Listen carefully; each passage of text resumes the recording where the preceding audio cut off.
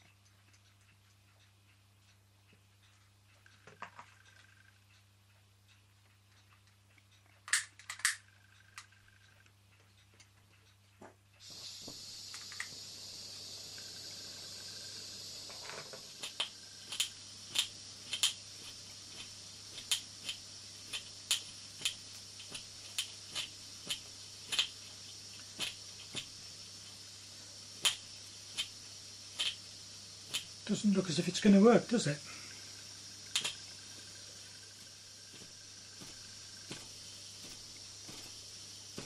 Oh, nearly.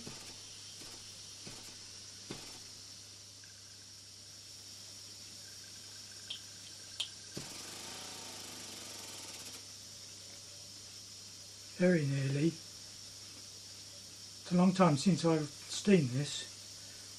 It's probably a bit stiff.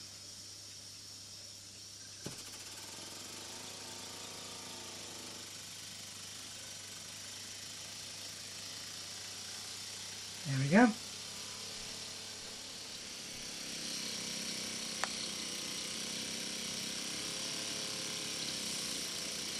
Video actually seems a bit pointless for this. Ah, it's stopped.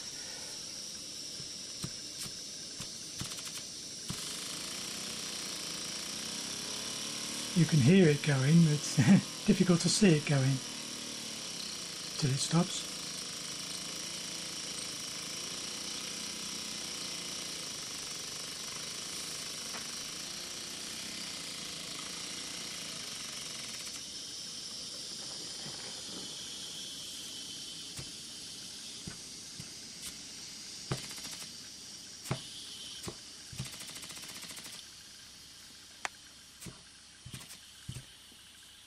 Oh, gas has run out now. Oh well, it was running. It's actually much easier to see the uh, working parts of this engine while it's stationary.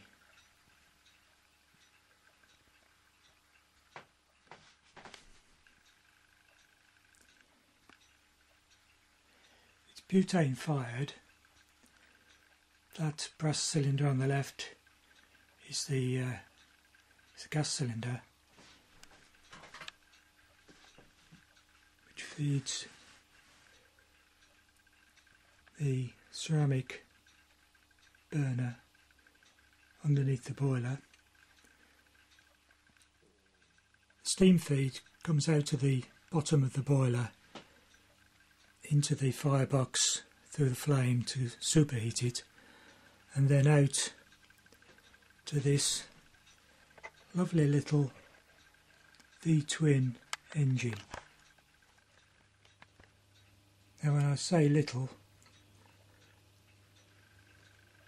there's my finger. It is really tiny.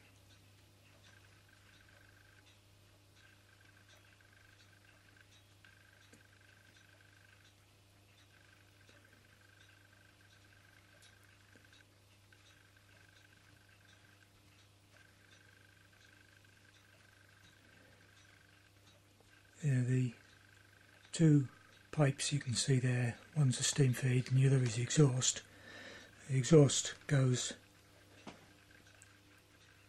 back into the firebox and up the chimney.